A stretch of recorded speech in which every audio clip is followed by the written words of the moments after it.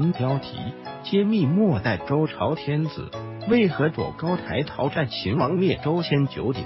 东周列国志插图：末代周天子为何躲高台逃债？债台高筑一词的典故来源，实在是中国一段荒唐与苦涩的历史。典故出自《汉书·诸侯王表序》，有陶则寨之台。唐代言师古注：夫秦曰：“周赧王负则寨，吾以归之。主破则寨己，乃逃于此台。后人因以明之。”唐朝房玄龄等著《晋书》时获知，对此也有记载。王乃元记：喜都西周，九鼎沦没，二南因晋，待于百姓，无以偿之。乃上层台以避其则寨，周人为王所居为陶则寨台者也。这段历史讲的是战国时代周赧王的故事。周赧王姓姬，名言，东周第二十五位君主，也是东周最后一位君主，在位五十九年。周赧王在位期间，周王室已经十分衰弱。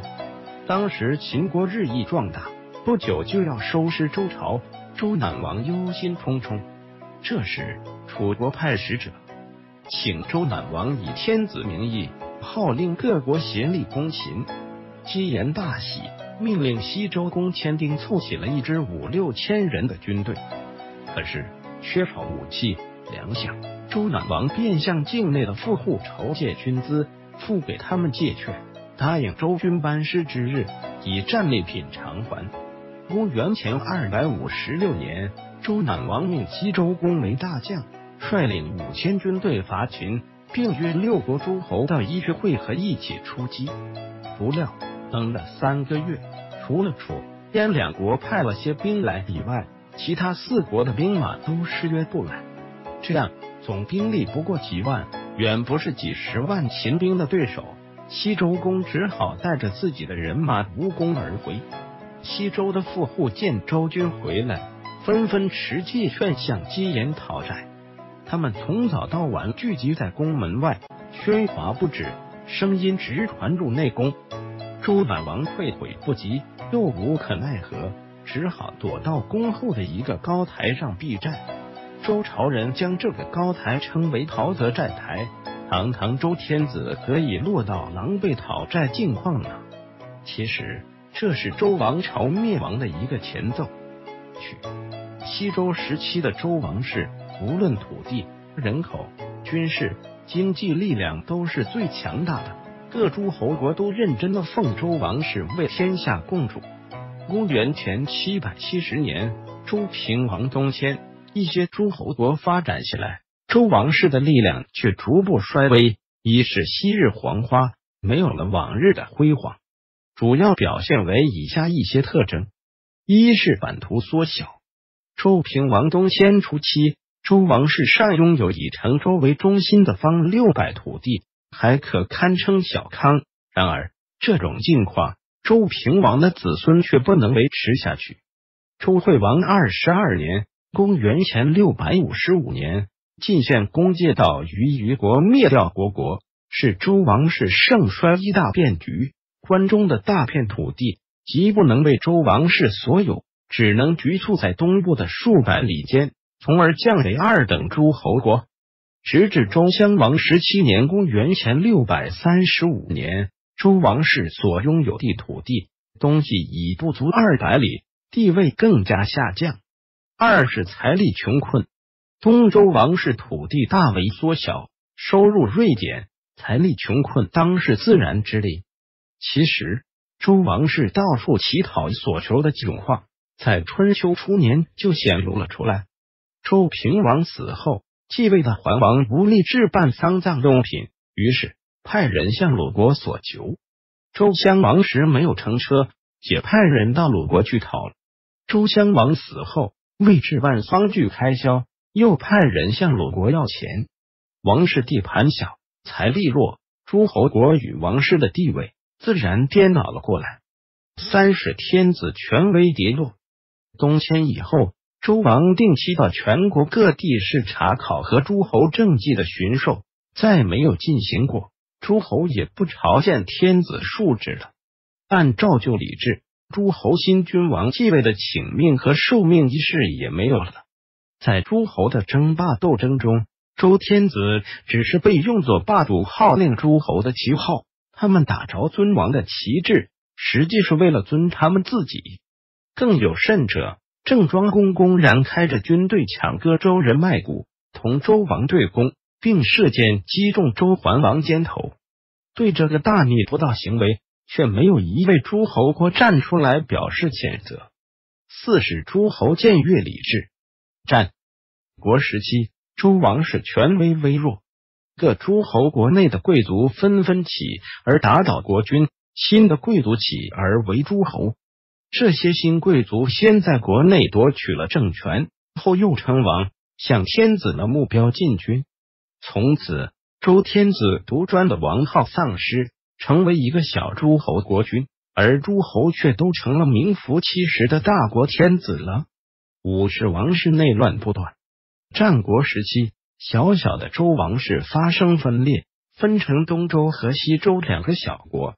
周赧王即位，公元前三百一十四年后，东周和西周实行分别治理，各自为政，并互不相同属。毫无力量的周赧王又从成周起都西周王城，只是寄居于西周君下。西周和东周这两个小政权后竟至，互相攻伐，兵戎相见。六是宗法制度崩坏。西周时期的王权是和宗法制度上的大宗小宗紧密相结合的，被称为王纲。进入春秋以后，东迁后的周王朝力量削弱，而诸侯国力量强大起来。诸侯与周天子间大宗小宗的关系就动摇着。宗法制度的破坏，使得固有的社会秩序崩溃。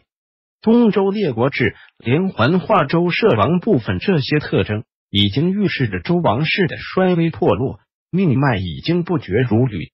周赧王时，周朝的既小又穷，可是还要不自量力，竟然去碰撞人人畏惧的秦国。这个把头伸到恶虎口中的壮举，不但欠了一屁股债被人催讨，而且激怒了秦王国。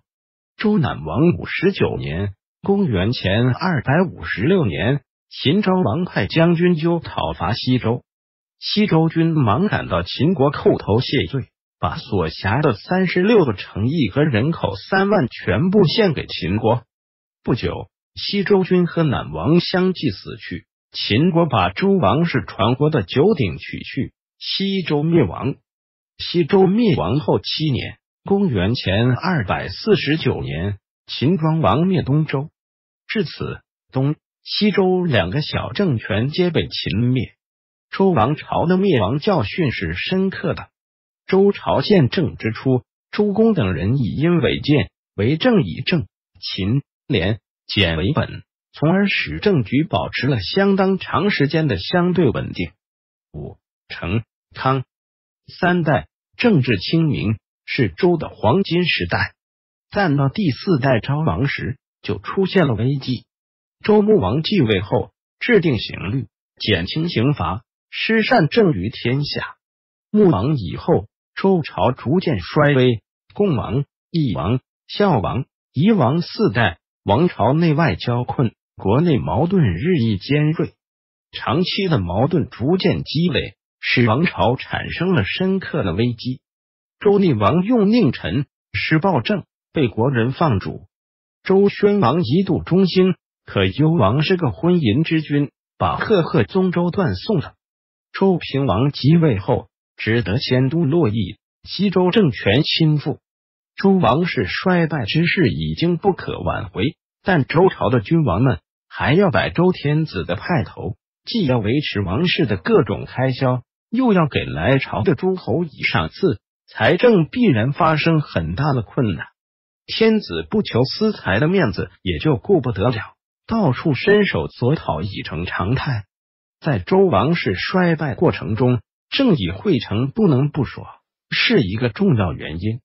春秋战国是中国古代社会发生第一次剧烈变革的时期，周王室衰微，诸侯国兴起，私有制发展，传统的淫逸暴敛的贪贿方式和新型的以财会做政治交易的方式交融一起，因贪贿结成的恶果反复出现。天子贪图享乐，喜好声色，倾尽权奸；卿大夫贪利私欲，各地敛财，富有积聚。《诗经·大东》中云：“巧东大东，助右其空。”揭露东方的大小诸侯国被征连的连织机上的织品都空荡荡的。《诗经·大雅》云：“人有土田，如反有之；人有民人，汝复夺之。”讲的是谴责高官贵族对人民的强取豪夺。于是，如柏杨先生所说的那样，这个立国八百七十九年、被儒家学派赞不绝口的周王朝，在没有一声叹息中灭亡。返回搜狐，查看更多责任编辑。